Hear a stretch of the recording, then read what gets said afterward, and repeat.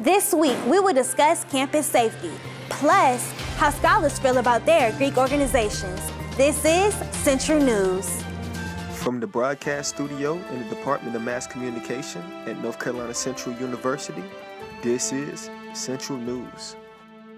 I'm Shadeja Pittman. Thank you for tuning in. During the first home game, the university experienced a shooting. Naki Martin dived more into the story. Thank you. This was the first emergency that happened on Central Campus, and hopefully the last. Some students were shocked, and others not even phased. NCCU is known to being in the middle of three different projects McDougald, East Durham, and PT. Although we can't assume that this situation was caused by these environments, we still have to wonder if students are being aware of the circumstances. Uh, we always tell students to walk in pairs. But more importantly, what I do observe when I'm walking around campus is students aren't, so aren't aware of their surroundings. And I'll give an example. If you're walking around campus and you're looking at your iPhone and you have both your ear, AirPods in your ears, then you don't know what's around you. And you can't see what's coming or what's happening. And that's just, that creates an unsafe environment. Um, we, we try to remind students that we do live in a major metropolitan area. And that comes with have taking on some personal responsibility for your safety, uh, while we also work to ensure your safety while you're here on campus. Some students look at this event as part of life and feel safe on campus because they make sure to do their part in ensuring their safety. Uh, I feel comfortable being on campus because I look at it as this is just stuff that happens in life.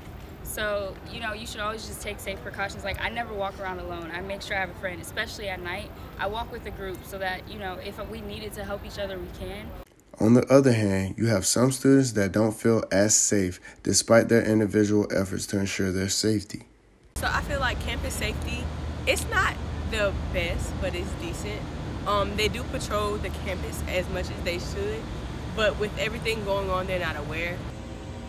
Despite the different opinions, the facts remain the same. The NCCU are doing their jobs to ensure the safety of students and faculty. Having a police station on campus, which everyone has access to, hourly patrols, and emergency towers around campus. It's not only up to the university to ensure the safety of students, but up to the students to keep their head on the swivel. You heard it here first. Reporting for Central News, Nike Martin. I'm positive campus will ensure the safety of students and faculty. Thanks, Nike. The NPHC is one of the organizations that hosts Greek life on campus. Zenobia checked more into the story. Many students come to the Greek boat to hang out and talk on nice days. You might even get a chance to see some Greeks strolling. Seeing someone's plot invaded may upset the whole crowd.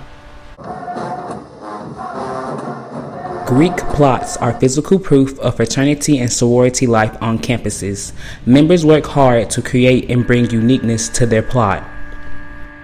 Ooh, the plot represents a lot. It's really like your birthright. It really shows that, okay, this particular area is sacred to this particular chapter and what they serve on campus.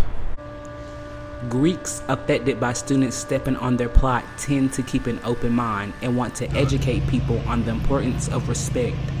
Being a part of that community, it will put you around a lot of good people who will help you and guide you through college so that you can be successful.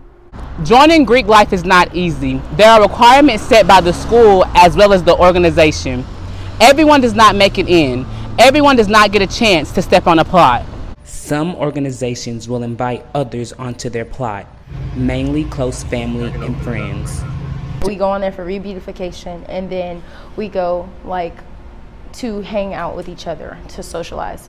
Students who are able to gain their letters remain a scholar before they are a Greek. Respect their organizations as you would want yours to be treated. Reporting for Central News, Zenobia Dowdy.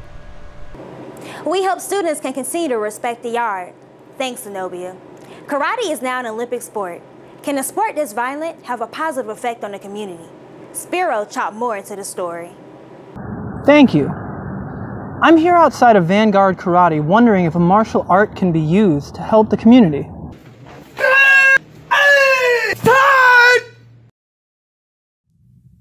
In 2021, karate became an Olympic sport.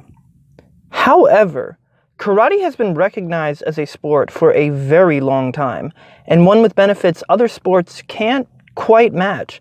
I sat down with Sensei Gary Crawford to see if his teaching was positively affecting the community. Oh, I get, look, I know it is. I have receipts.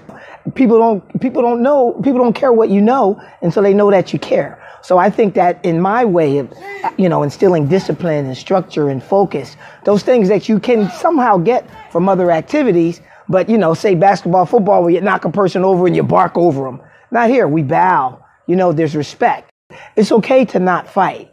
You know, it's okay to walk away with dignity and dignity and explain to yourself why you care not to fight. When asked about what he thought concerning karate in the Olympics, Sensei Crawford had this to say. Just a tradition of, of karate, it was fantastic.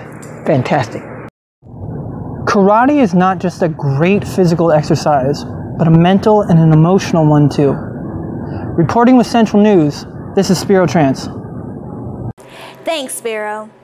This has been Central News. Make sure you tune in next Friday at 12. And Eagles, remember to soar high.